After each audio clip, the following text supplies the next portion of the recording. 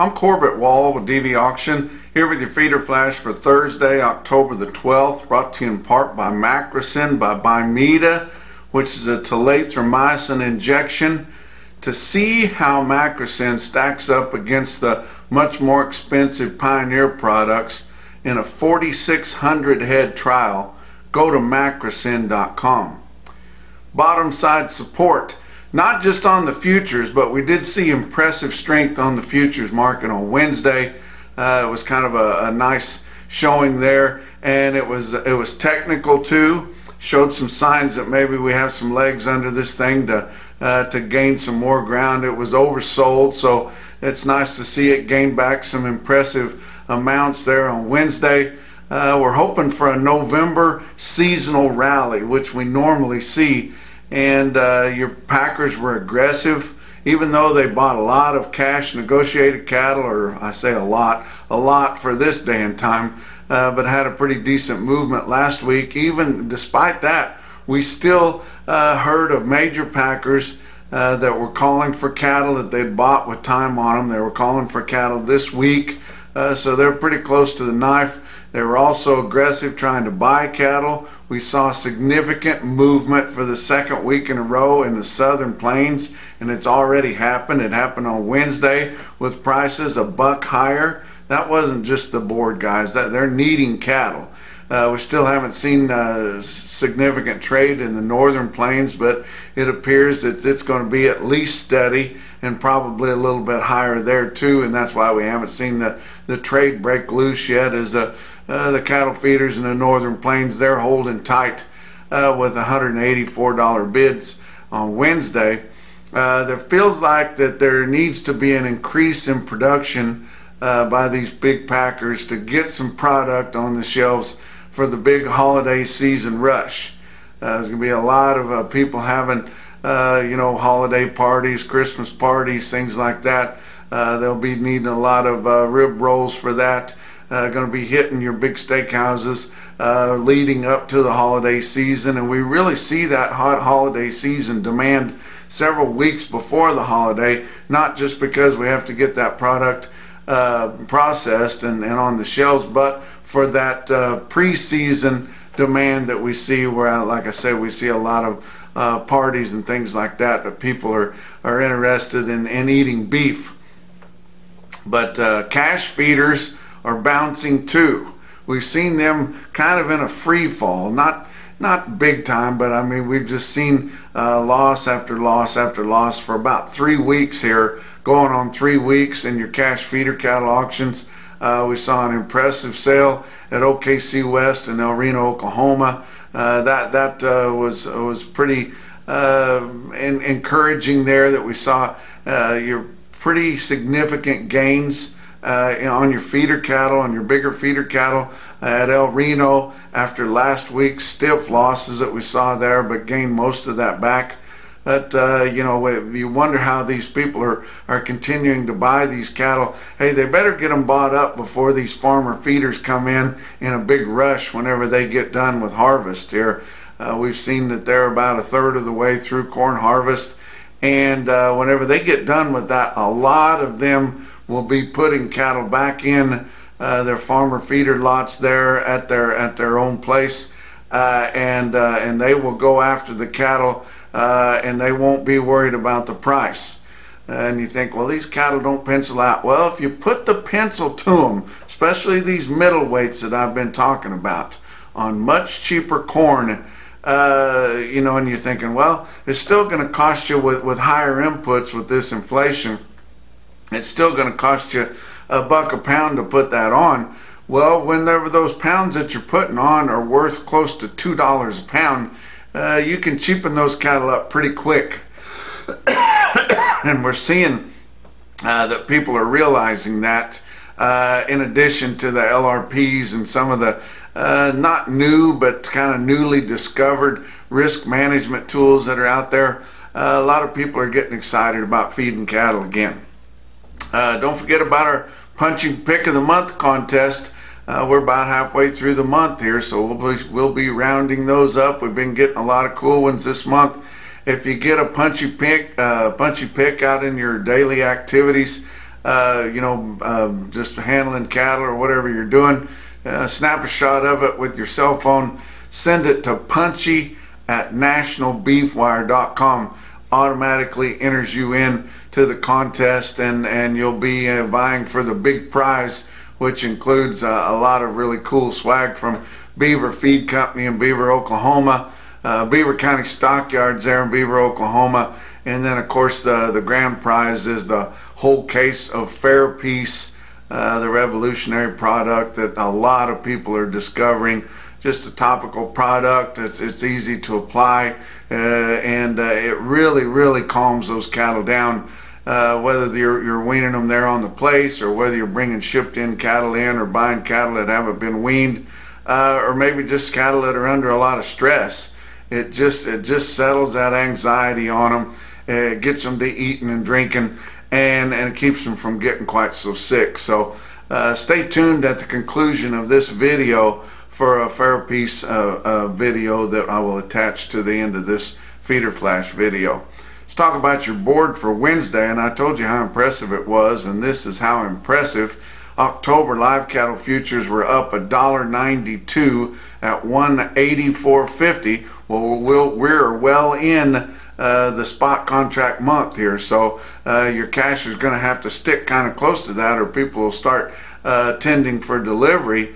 Uh, these cattle feeders, and, and we saw, like I said, in the Southern Plains, a dollar higher at 183. Uh, with your board at 184.50, it costs about a buck and a half expenses to deliver those, so we're just about flush right there, and I assume the Northern Plains will trade a little bit higher than that. December live cattle up a dollar ninety-seven at 186.97, and your back months were all up from 85 cents to up $1.92.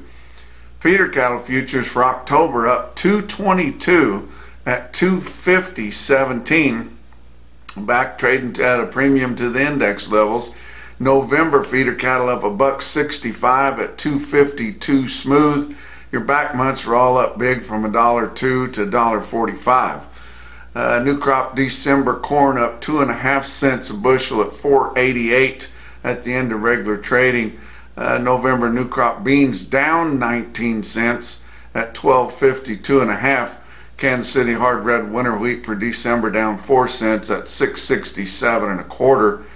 We did see fat cattle trade uh, on a negotiated basis in your five area feeding region. Like I said, not too much in the northern plains, but heavy movement in the southern plains. Iowa sold 1,500 head confirmed. That was up through 2 o'clock in the afternoon on Wednesday. I'm feeling that we traded quite a few more cattle after that 2 o'clock deadline when we saw the 184 bids come in, but most of them were passing the 184 bids, but we did have a few confirmed sales early on Wednesday in Iowa from 182 to 183 live. Nebraska, just 100 head at 183. Not sure how many cattle the 184 broke loose. Maybe some western Nebraska cattle we're hearing uh, at 184, but uh, uh, we're just not seeing the dress bids really raise up. You know, most of your packers were bidding 288, and and your northern feeders were passing that. But in Kansas, they sold 9,000 head on Wednesday before 2 o'clock in the afternoon. Going to be more than that. It was 182 to almost all 183, so that's a buck higher. Texas sold 9,400 head. Uh, and, and, it's just amazing to me that now all of a sudden we're starting to see some trade that amounts to something in Texas uh, we went week after week after week without them selling as much as five or six thousand a total through the week, and on Wednesday they sell 9,400. Price was uh, 182 to mostly all 183, and that was a buck higher also. Also saw a brick and mortar fat cattle auction in the Northern Plains. Sioux Falls Regional Livestock in Worthing, South Dakota had a pretty decent run of fat cattle. They sold two to three dollars higher than last week at the same sale. Conventional cattle in Worthing, South Dakota bring from 179 to 184 with some program, either drug free or non implanted cattle trading from 180 to 187. Box beef cutout values lower again, not big, but still just, just really having a tough time uh, gaining much ground on your box beef cutout values. Choice cuts on Wednesday afternoon were down 78 cents at $300.28. Selects were down 85 cents at 275.30. Your slaughters kind of hanging in there. 379,000 estimated harvest through the first three days of the week. That's 4,000 more than last week at the same point, 4,000 less than the same point uh, a year ago. Talk about what else is going on. Livestock Risk Services with Dakota Moss. They're your LRP specialist, guys. Uh, talk to you about him uh, adding some new uh, agents and, and starting to feature those agents more as Dakota is getting busier and busier and has has really been successful there. And he's uh, he's able to help people in any major cattle production area. It's not just Oklahoma and Arkansas guys, but uh, for more information or any questions that you have, check out any of these agents at Livestock Risk Services or go to livestockriskservices.com for more information.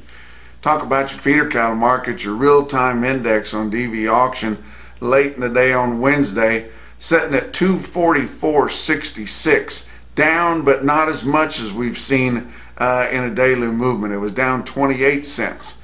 Uh, CME cash feeder cattle index 249.79, still trading at a big premium to the RTI, but back under 250.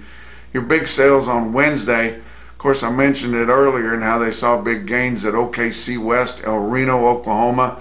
DV auction broadcaster there. They sold feeder steers steady to three bucks higher, feeder heifers four to eight dollars higher, rebounding most all of last week's stiff losses there. Uh, the weaned calves sold fully steady to three dollars higher. Unweaned or short weaned calves, of course, that's just the story because of the time of year it is. Uh, they sold with a lower undertone on top of the discounts that they'd already been carrying. Uh, winter livestock in Dodge City, Kansas, 3,400 head. Uh, the feeder steers there were four to seven dollars lower, but they haven't had a really good test of big uh, feeder steers in Dodge for a few weeks there. But lower feeder heifers, two to five bucks lower. Uh, weaned reputation calves, and they're starting their calf specials at the winter livestock barns. Weaned reputation calves sold eight to ten higher unweaned bawlers 8 to 10 lower getting to be a sizable discount on those guys. Uh, one uh, pretty impressive quote out of dodge city. On wednesday was 106 steers weighed 711 at 264.75 bassett nebraska bassett livestock auction had a sale on wednesday 4500 head. Uh, the heavy feeders uh, were lower than the last good tested market there which is uh, not a surprise because uh, they, they didn't, you know, when we're, when we're seeing a bounce back, you got to have a really good test the previous week to really uh, be able to measure that uh, in a good way there. But heavy feeders were lower than the last time they were tested well. And we saw the first test of spring calves in Bassett, Nebraska, most all of them coming in unweaned but with shots. And uh, Bassett was your national beef wire stick out sale of the day. Check out this automated uh, auction market report from Cattle Market Central. Here you see your best tested weights out of Bassett, Nebraska. 358 head of five weight steers averaged 552 with a weighted average price on all of them of 310.28. 643 head of eight weight steers averaged 856 weighted average price 250 255 and 1131 head of nine weight yearling steers and bassett and this will kind of start to clean those up guys. The average 949 weighted average price 245.12 very impressive there. Check out some well tested weight groups of heifers. 237 head of seven weight heifers average 749 at 240.51 785 head of eight weight heifers averaged 855 weighted average price 235.34 and 276 head of nine weight heifers in Bassett, Nebraska averaged 920 uh, with an average price of 225.19. Give you some impressive uh, individual quotes from around. How about Torrington Livestock Markets in Torrington, Wyoming? They sell 88 steers weigh 631 at $3 a pound. Very impressive. Another Wyoming market. How about Buffalo Livestock Auction in Buffalo, Wyoming? They sell 106 light steer calves weigh 470 at 359. But the most impressive quote that I saw anywhere on Wednesday, your Macrocin no BS top quote for the day, come out of another long-time DV auction broadcasted market, Hub City Livestock in Aberdeen, South Dakota. They sell six loads of black steers off the grass. They average 940 pounds at $2.50 a pound. And that's your feeder flash for Thursday.